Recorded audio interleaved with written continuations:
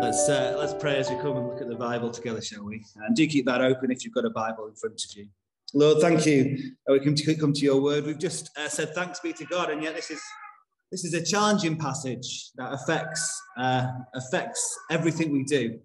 So please speak to us and help us today. Amen. Well, uh, I don't know about you, but over this last year, um, we've had to do a lot, lot of looking forward, haven't we? You know, I'm looking forward to when we can sing again, when we can meet up again. I'm looking forward to when I can go to the pub. I'm looking forward to when I can go shopping. We've all been looking forward a lot over the last year or so. And we've been told to focus on that future so that we do the right thing in the present, haven't we? So, um, so focus on that future that's ahead. Uh, and so get vaccinated now, or wear a mask now, or, or don't see too many people now. So that focus on the future has affected how we live in the present. And that's really the theme of our next few sermons in Luke chapter 12. That they encourage us to look to the future, to be future focused, uh, to live rightly for God in the present. But this future isn't just a couple of months or a couple of years away. Uh, this future is eternity, forever. It involves Jesus' return to judge the world, to bring in God's kingdom fully. That is the future that is in focus in this passage. And as we focus on that future, it will mean we live differently as Christians now. So let me ask you where is your focus? I've got a pair of binoculars. Think we got them free when we joined National Trust or something like that. They're not very good. Um, especially if I take my glasses off, I might as well not bother because they just substitute for glasses. But, but you've got this little focus thing in the middle, haven't you? You turn it, and uh, you can either focus on things far away, to, to look far away. But if you're focusing on things far away, what happens to all the stuff nearby? So it's all blurred, isn't it? If you look at something a bit closer, focus it closer, everything far away is blurred. You can't focus on both. That's not how focus works. And the same is true with the Christian life. What are we focused on? Are we focused on the near, the here, the now, what we can have now? Or are we focused on the future? If we're focused on the here and now, we'll lose focus of the future. If we focus on the future, well, that will uh, lose less of a focus on our stuff now. What are you focused on? And I, and I think this, this Bible passage gives us two questions really to help us think through where our focus is. We focus on the now or we focus on God's future, which is what we're told to focus on. And the, the two questions, the first question is this What do you fear? What do you fear? Now, at the start of this passage that we just had read, Jesus had been having a bit of a go at the Pharisees. The uh, am I? Am I? Uh, no. Sorry. There we go. Helps if I turn the button on. He'd been having a go at the Pharisees, who like the religious leaders of the time. He calls them hypocrites because they care more about what they look like now than how God's going to see their heart for eternity. And so he's having a go at them in chapter 11, and they decide that they want to get him. They decide that we're going to kill Jesus, actually, and, and we see that's what happens in the end. And Jesus actually says to his followers, his disciples, You're not going to fare much better than me, I'm afraid. People are going to be after you as well. And so Jesus says to them this He says, I tell you, my friends, do not be afraid of those who kill the body and after that can do no more. But I will show you who you should fear.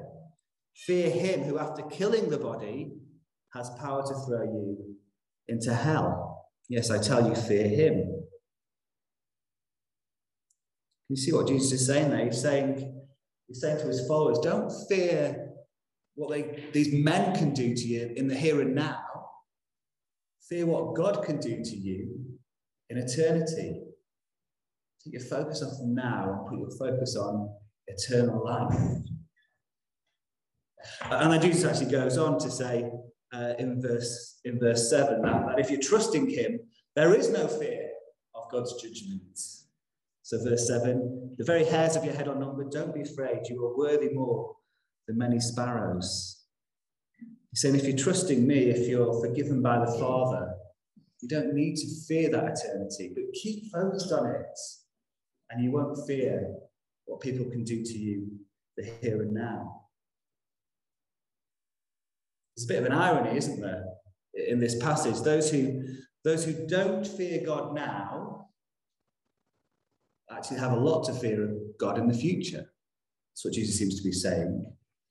But those who have a healthy reverence for God now, those who fear Him, who trust Him, who follow Him, who've trusted Jesus, they have nothing to fear in the future because God has adopted them into His family.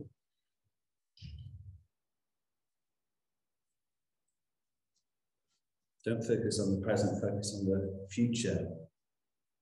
And the mark of fearing God more than people is verse 8 I tell you, whoever acknowledges me before men, the Son of Man will also acknowledge him before the angels of God.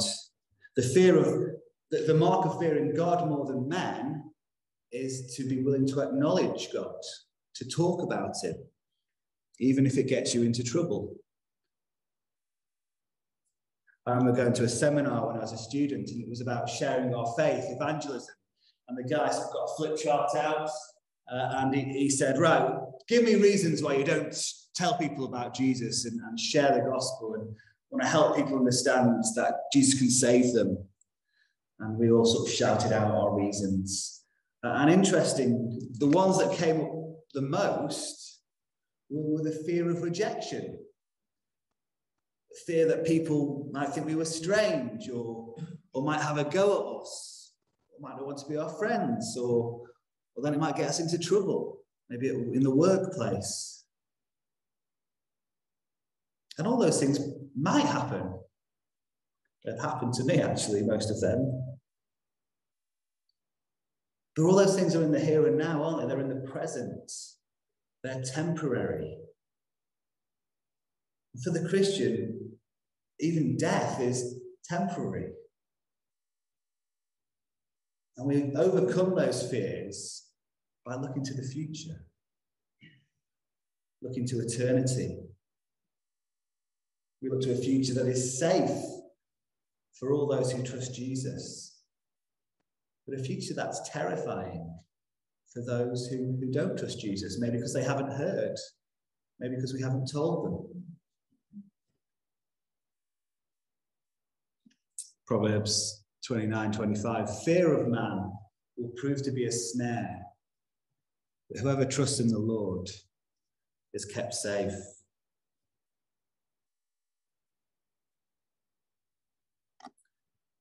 I used to help run a, a Christian youth group on a, quite a rough estate. Um, and the parents couldn't be bothered to send their kids to the youth group. So what we did, we, we, we had a, a walking bus we used to go around and all the kids used to sort of you know, walk behind us and we used to pick them all up and bring them to this youth group and, and be able to have some fun and, and do a, a, Bible message. And the guy who ran this youth group who I helped out was really passionate about sharing the good news about Jesus, about helping people know who Jesus was. Even though the work he did was really hard, he got a lot of rejection, he got a hard time on this estate. He actually chose to live on this estate especially to do that work. And I remember once I was walking along with him, and I was, I don't know why, we were talking about hell. And uh, I said to him, I don't really like to think about it. Um, and he said to me, You know what? I think about hell every day. So that's a bit weird. But, but as I, I mulled that through, I think that was partly what motivated him to do what he was doing. It motivated him to bring the good news of Jesus to the poorest estates, the roughest estates, the, the hardest job I've, I've come across. Because he, he knew that people need to hear about Jesus and how Jesus died to forgive us and save us. He was future focused, wasn't he? What, what about us? What do we fear? Do we fear what people can do to us now? Or do we look to the future? Do we need to readjust our focus on our binoculars? So that's the first question. That maybe helps us understand where, where's our focus and to readjust our focus. What do we fear? The second question is this Where is your treasure? Where is your treasure? Got a treasure map there with lots of X marks the spots. Where is your treasure? Uh, we met a guy in verse 13 of this passage whose focus was very much on the here and now, wasn't it? So Jesus has just been talking about this future judgment. And this guy runs up to Jesus, and all he's concerned about is a present judgment. He, says, uh, he says, Teacher, tell my brother to divide the inheritance with me. He's very much focused on the here and now, isn't he? I want what's mine. And Jesus responds with this parable, this story with, with a meaning. And he actually explains the meaning of the parable before he tells the parable. So he says in verse 15, Watch out, be on your guard against all kinds of greed. A man's life does not consist in the abundance of his possessions. So he tells this parable. It's about a rich man who's, who's going to get richer because he's made some good investments uh, and they've paid off. Uh, uh and so his fields produce this really good crop. He's got enough, he's set for life. So, what's his first thoughts? How can I make sure I enjoy my life? So he prepares for a, a, comfortable lifestyle, a comfortable retirement. He builds bigger barns to hoard his wealth so he can retire with plenty. So he can have that nice house in the countryside, that, that those, those holidays, the best food and drink. If we're honest, that's probably what a lot of us are hoping for, aren't we? It's what we're sold in the media. And so he's got all this ready. He's got he's set for life. Comfortable, happy, everything he needs. And then God says in verse 20, You fool. He says, You're a fool. Why? Well, he's invested in the wrong thing because he's about to die. And all his wife, all his, all his, all his wealth, his, his ISAs, his pension plans, his properties, his shares, they're useless when he dies, aren't they? When he comes face to face with God, none of it matters because it has no eternal value. He's been so focused on accumulating in the present that he's forgotten about the future. He's forgotten, he's neglected eternity. And God says he's a fool. Verse 21, this is the sort of punchline. Jesus says, This is how it will be with anyone who stores up things for himself, but is not rich towards God. The Bible tells us there's only one balance that matters, and that is found in a heavenly bank account. That, that bank account is open for us when we put our trust in Jesus. So when we uh, turn to Jesus, when we trust Him, uh, that account, that home in heaven is opened, it's there, it's waiting for us. The question is, will we invest in it? Every time we give generously of our time, of our money, of our talents, of our service for Jesus, we're investing in that eternal bank account. And so, towards the end of this passage, Jesus says, Don't be afraid, little flock. For your Father has been pleased to give you the kingdom. Sell your possessions, give to the poor, provide purses for yourself that will not wear out, a treasure in heaven that will not be exhausted, where no thief comes near and no moth destroys. For where your treasure is, there your heart will also be. Where is your treasure? The answer to that question will tell us where our focus is, won't it? If our treasure's in the here and now, our heart, our focus will be on the here and now. If our treasure's in heaven, our, our heart, our focus will be on heaven. Are we focused on the here and now, building up our net worth? Or are we focused on building up treasure in heaven, a treasure that can't be removed? I was talking to a, a friend recently about this before I even prepared this sermon, and he said to me, um, most of the time we think every year we should have more and more and more in our bank account every year. But I've been looking at Jesus' words in the Bible, and I've been challenged that we, we need to have less every year because we need to increase in generosity each year as we follow Jesus. I found that really challenging.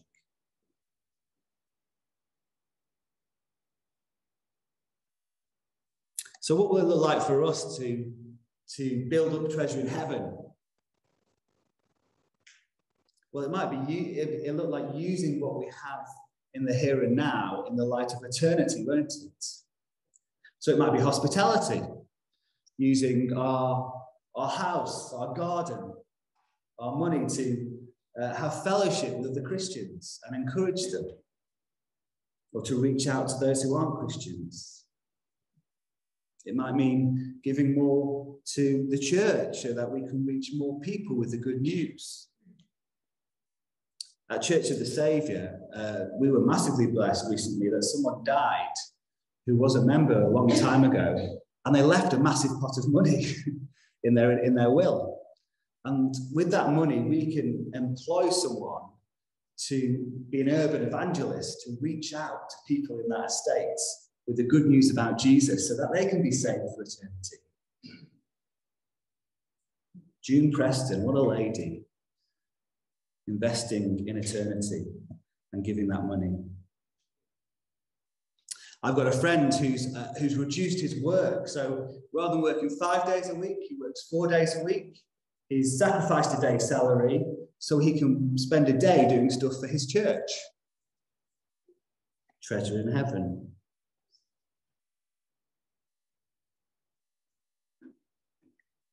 It might be given of our time, our energy, Whatever it is, it will come about if we're focused on the future, not the present. We haven't got time to go into the, the sort of do not worry part of this section of, of the Bible passage now, but, but there is a link. When, when our attitude is focused on a certain future in heaven, the logic is that our present will be released from worry. Can you see how that works? So I wonder why we worry a lot of the time. When we worry, we worry about our future, don't we? Will I have enough? My kids have enough. We'll be healthy. We'll be happy. We worry about things we don't really have control of in the future. But when we're future future focused, when we're focused on eternity, when we know that everything is safe for us in heaven, that puts our worries in perspective, doesn't it? it? Helps us not to be anxious. It, it helps us remember that we can't add a single hour to our life by worrying, but God has our life in his hands and our future in his hands. Being future focused is a cure for worry.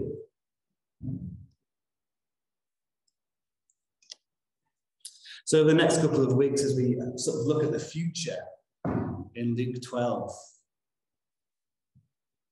I hope we're encouraged to focus less on the present and more on God's future. And that as we focus on the future, it changes what we do now. That we wouldn't fear what people say or do to us now. And that we wouldn't hoard in the here and now, but we'd be free. We finish with verse um, 29. Jesus says, Do not set your heart on what you will eat or drink. Do not worry about it. For the pagan world runs after all such things, and your Father knows that you need them. But seek his kingdom, and these things will be given to you as well. Where your treasure is, there your heart will be also. Let's pray.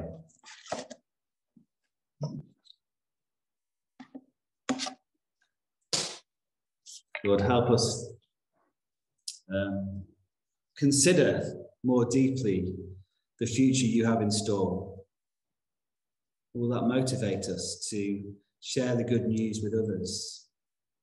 Will that motivate us to give generously in the here and now as we build up for ourselves those treasures in heaven? Amen.